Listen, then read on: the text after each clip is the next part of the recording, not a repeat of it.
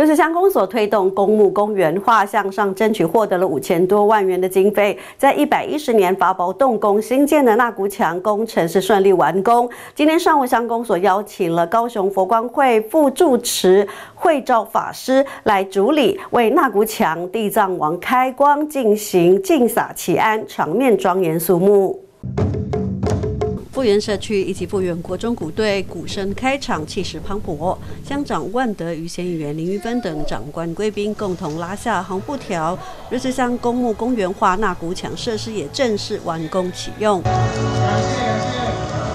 就是乡公所推动公墓公园化，为了解决第一公墓饱和的问题，虽然乡长陈金光向上争取获得五千多万元经费，并且在一百一十年发包动工新建那股墙，虽然期间工程作业出现波折，最终也都顺利克服。与会的上级长官代表也给予肯定。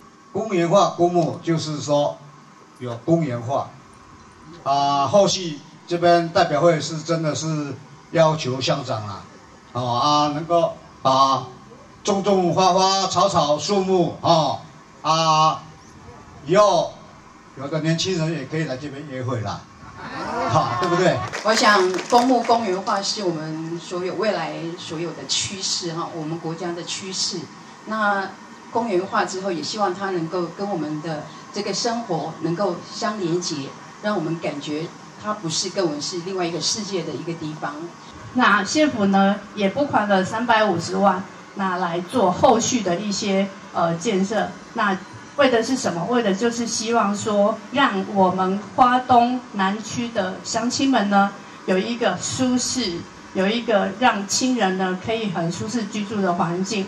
那这个呃公墓公园化的建设呢，可以让我们的乡亲。在接近亲人的时候，不再这么害怕。乡长吴万德致辞时表示，就是乡纳古墙建造分中西式两种信仰方式来提供乡民选择。中式是以八卦形式呈现，柜位数总数为六千零九十八个，中式共有两千七百七十个，西式共有三千三百二十八个柜体，预计可以解决至少二十到三十年的瑞穗乡民殡葬需求。有新的纳古。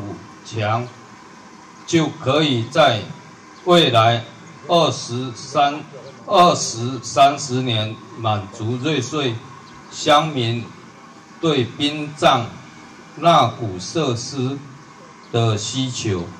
另外，也可以避免每年扫墓登山越岭，清理杂草灌木之苦。这也造成我们今天启用仪仪式的诞生。本处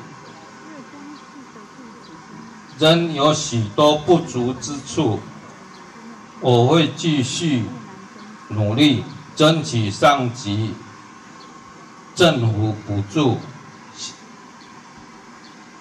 达成乡民的期望。